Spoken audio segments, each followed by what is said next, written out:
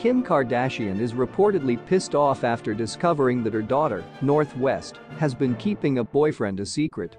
A source close to the family says that Kim found out about North's boyfriend through her friends.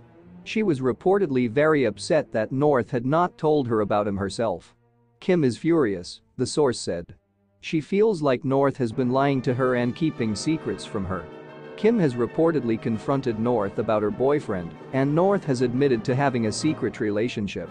However, she has refused to tell her mother who he is.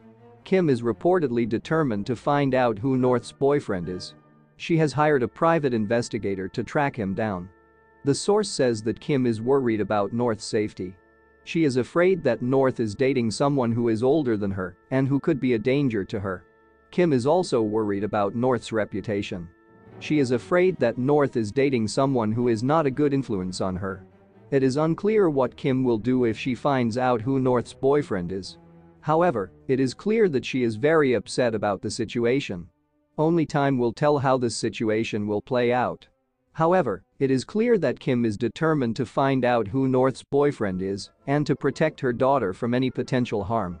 Thank you guys for watching on to the very last end. What are your thoughts about this?